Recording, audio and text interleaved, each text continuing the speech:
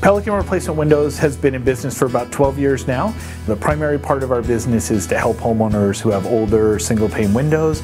We come in with new energy efficient windows and do an install in their home, a process we all call retrofit window replacement. What sets us apart at Pelican Replacement Windows from all the other window companies is the homeowner can really expect a quality process with us from the opening sales presentation to the finished installation. Our lead installers are all very experienced in the window business. Some of them have as much as 14 years. We do factory training from our suppliers. We really focus a lot on making sure that there's a quality installation when we're at your home. Our whole business is about taking care of the homeowner. It's about the right quality product in their home, what's the right color, what's the right operation of a window and a door, and really then following through with the quality installation.